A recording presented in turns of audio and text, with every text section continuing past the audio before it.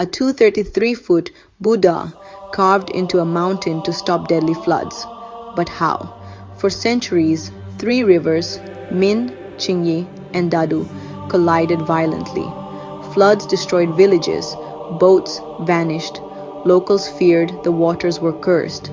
In the 8th century, monks built the world's largest stone Buddha. But this wasn't just art, it was a hidden engineering marvel. Inside, a secret drainage system, tunnels through the head, ears, and robes. Water flows out. Erosion is prevented. The statue remains untouched. For Puamo's 300 years, it has survived floods, earthquakes, and time itself. In 1996, UNESCO declared it a World Heritage Site. It stands alongside Mount Emei, home to China's first Buddhist temple, built over 2,000 years ago. A fusion of faith and engineering still solving problems today. Could we build something this lasting now? Tell me in the comments.